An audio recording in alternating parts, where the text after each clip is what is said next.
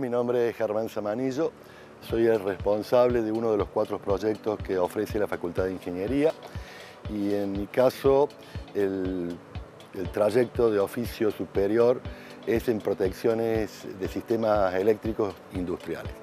Básicamente mm, son ocho cursos que duran el mínimo 16 horas, el máximo 40 horas, con una carga práctica muy fuerte, carga teórica menor y está orientado a aquellas personas, trabajadores que están en, la, en pequeñas pymes, industrias, empresas dedicadas al, mantenimiento eh, eléctrico en protecciones o en circuitos de, protecciones.